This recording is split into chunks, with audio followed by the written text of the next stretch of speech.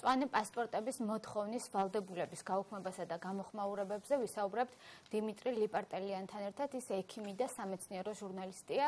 დიმიტრი, მოგესალმებით, მადლობა გადაცემაში მონაწილეობისთვის. მოგესალმებით.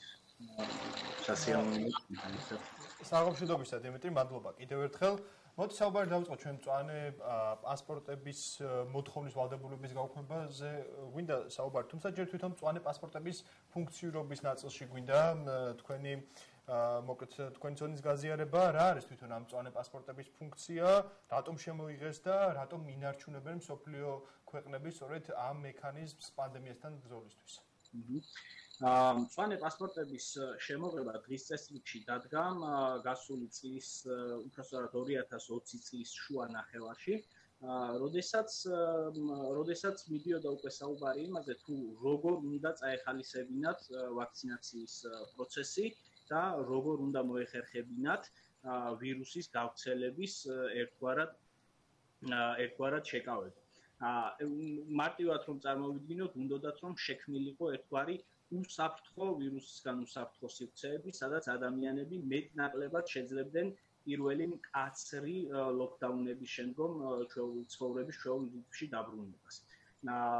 ერთ-ერთი პირველი, ვინც აღნიშნული აღნიშნული მწვანე პასპორტი პრაქტიკაში გამოიყენა და დანერგა, იყო ისრაელი, მოიხსენებათ ისრაელმა ისრაელი ერთ-ერთი პირველი იყო, ვინც საკმაოდ დიდი რაოდენობა თავისი მოსახლეობის რეკორდულად მოკლე დროში აცრა და შესაბამისად მას დაუდგა კიდევაც მსგავსი საჭიროება, რომ ეს აცრილი ადამიანები, ამაცრილ ადამიანებს შეძლებოდათ ცხოვრების შეულიჩი დაბრუნება. იმიტომ რომ ვაქცინაციის ძალიან მნიშვნელოვანი არის, რომ ეს თვითონ აცრილმა ადამიანმა და თვითონ საზოგადოებამ ვაქცინაციის სიკეთეები იგრძნოს ფიზიკურად. მარტივად რომ ვთქვათ, მოახერხოს მისთვის შვეული ცხოვრების რაღაცა ნაწილობრივ დაბრუნება მაინც. წავიდეს კინოში, წავიდეს რესტორანში, ი კაფეში და ასე შემდეგ.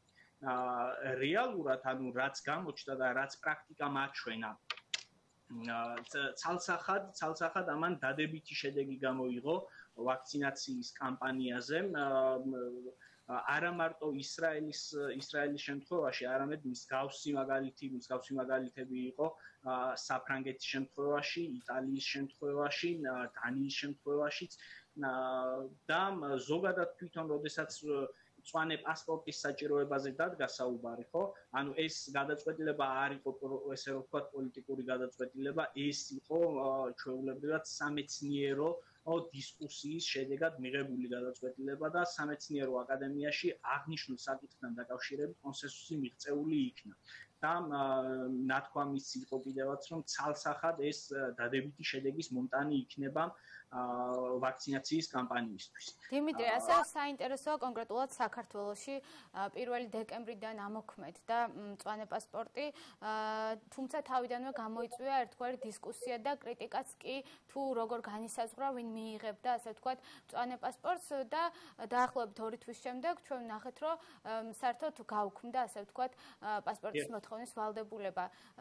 ასევე გვაინტერესებს საზოგადოების გამოხმაურებების გამოხმაურების შეფასება და ასევე ძალიან მნიშვნელოვანია ვთქვა თუ როგორი იყო სატელევიზიო მედიის ნაწილის ასე ვთქვა რეაგირება ამ გადაწყვეტილების გამოცხადების შემდეგ. აა, დიახ, ესე იგი რეალურად ორი თვე იმუშავა მწვანე პასპორტმა საქართველოში. და რამდენად ეფექტიანად იმუშავა, ეგეც კიდე ცალკე საკითხავი არის, იმიტომ რომ დარწმუნებული ვარ თითოეულ ადამიანს ქონდა პირადი გამოცდილება ისეთ სივრცეებში მოხვედრის, სადაც მისი მწვანე პასპორტი უბრალოდ არ შეამოწმეს და პირდაპირ ისე შეუშვეს მწვანე პასპორტის გარეშე. ანუ მარტივად რომ ვთქვათ, ერთი არის მიღებული გადაწყვეტილება, მეორე არის მისი აღსრულების ნაწილი. აა იქედან დავიწყოთ რომ ჯერ ერთი მწვანე პასპორტების შემოღება დაგვაგვიანდა. მარტივად რომ ვთქვათ, ეს შეიძლება და გაცილებით უფრო ადრე გაკეთებულიყო და გაცილებით უფრო ო სწრაფად მოხდარიყო აღნიშნული გადაწყვეტილების იმპლემენტაცია. მეორე მომენტი არის რომ ამ ყველაფერს ჭირდება სწორი აღსრულება.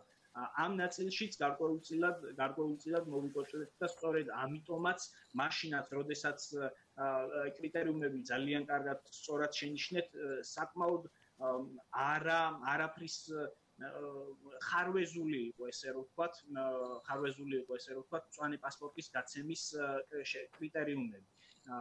თუნდაც თუნდაც იმთია თუნდაც მაგის მაგალითი არის რომ იმ გადატანილი ინფექცია ავტომატურად იძლეოდა მწვანე პასპორტის მწვანე პასპორტის აღების შესაძლებლობას მიუხედავად იმისა რომ შესაძლებელი არის იმ დროისათვის ადამიანს უკვე ანტისხეულები აღარც იქონოდა ორგანიზმში ამის შესახებ თავიდანვე თავიდანვე იყო დისკუსია ამ ამის შესახებ თავიდანვე მიუთითებდა მიუთითებდნენ აღნიშნული დარგის სპეციალისტები რომ ეს არ არის სწორი კრიტერიუმი და ამას რაღაცნაირად შეცვლა სჭირდება და რეალურად რაცაც ეხლა ვხედავთ ხო ან დაუქმების ერთ-ერთ მიზეზად ერთ-ერთ მიზეზად ზუსტადაც რომ ეს დასახელდა რომ აი გადატანილი ადამიანების შემთხვევაში ეს არ ნიშნავს მაინც დაცვას და ისინი გავრცელების რისკის ქვეშ აინც აყენებენ უფრო ცელ საზოგადოებას და ზუსტად ამაზე იყო საუბარი. ისე გამოვიდა რომ ძალით გაიტანეს ეს გადაწყვეტილება და ახლა ორი თვის თავზე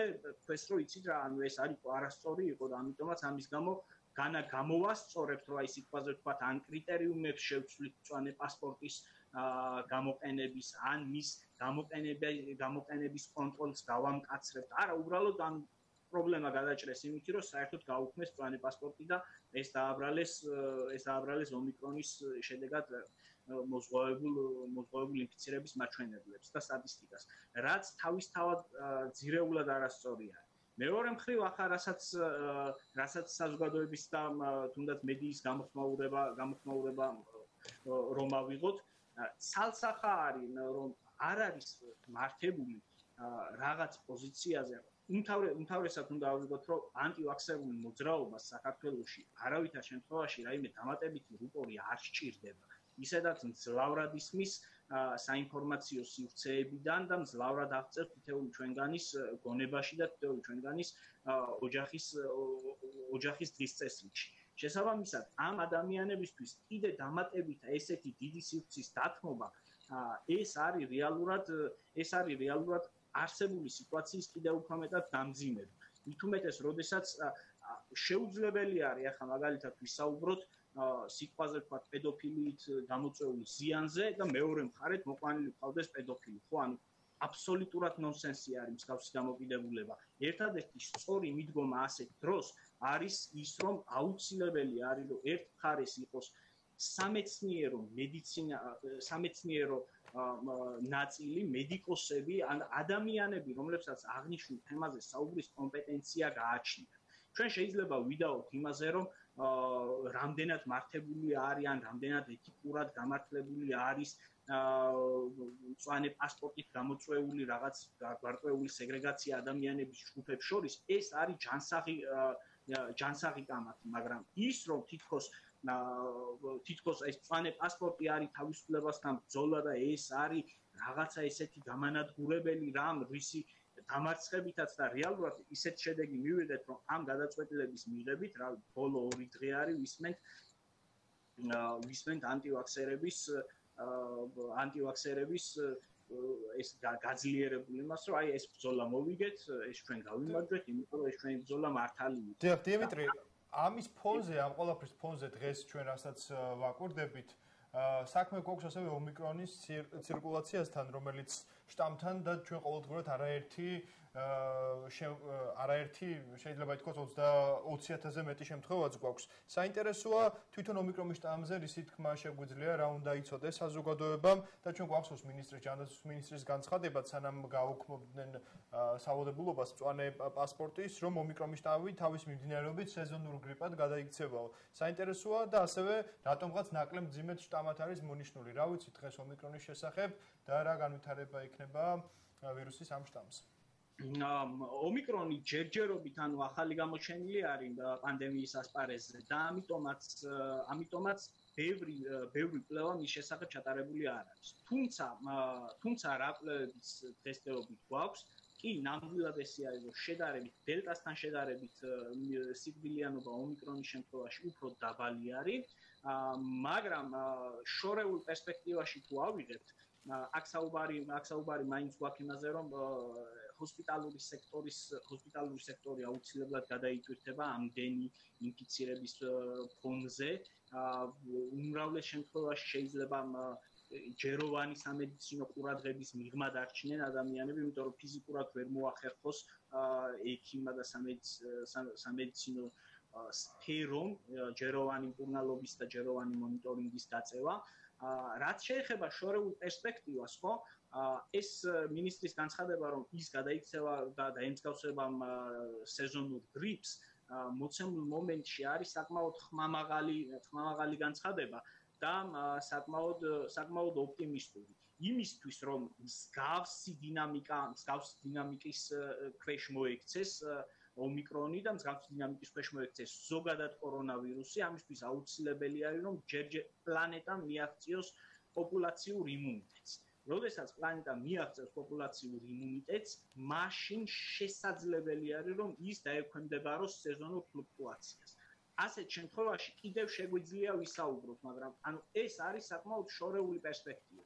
მანამდე ჩვენ გვემუქრება საფრთხე, რომ ომიკრონი და ზოგადად კორონავირუსი გახდება ენდემური, მარტივად რო ვთქვა, ბევრი ქვეყანა მას დაამარცხებს, ანუ პანდემიის ეტაპიდან გამოვა, უხეშად რო ვთქვა, და იმ ქვეყნებში, სადაც არის ვაქცინაციის დაბალი მაჩვენებელი, სადაც ვირუსისგან თავდასაცავი პრევენციული ღონისძიებები უგულებელყოფილი არის, ასეთ რეგიონებში, ასეთ ქვეყნებში იქნება ენდემური აფეთქებები, და რაც უფრო დიდხანს დარჩება ცირკულაციაში კორონავირუსი, უფრო მეტი დრო და უფრო მეტი ალბათობა არის იმისი, რომ უფრო ახალ და ახალ შტამებს ჩამოაყალიბებს და დიმიტრი, იმუნიზაციის და ვაქცინაციის დაბალი მაჩვენებელია ჩვენთანაც.